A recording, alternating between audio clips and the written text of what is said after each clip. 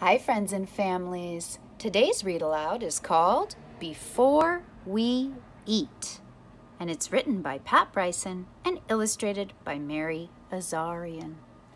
Think about this book today as you're eating your dinner with your family. As we sit around this table, let's give thanks as we are able to all the folks we'll never meet who helped provide the food we eat. They plowed the ground and planted seeds, tended fields, removed the weeds. They picked the food at harvest time, working in the heat and grime. They grazed the cattle, fed the sows, that's another word for pigs, gathered eggs from the chickens, and milked the cows. They fished from boats out on the seas. Raised wheat and nuts and honeybees.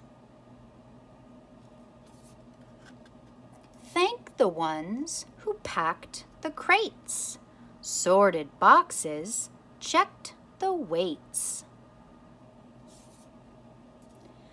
Thank the drivers on the roads in their trucks with heavy loads. And all the clerks at all the stores who did the grocery selling chores. Thank the ones who bought this food, the ones who teach me gratitude.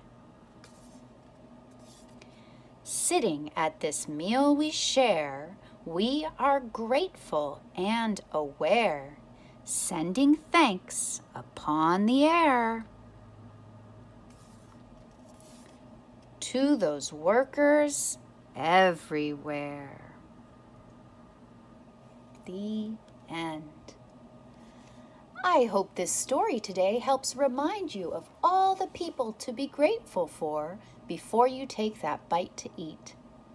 Happy reading and happy eating. Bye, friends. Stay grateful.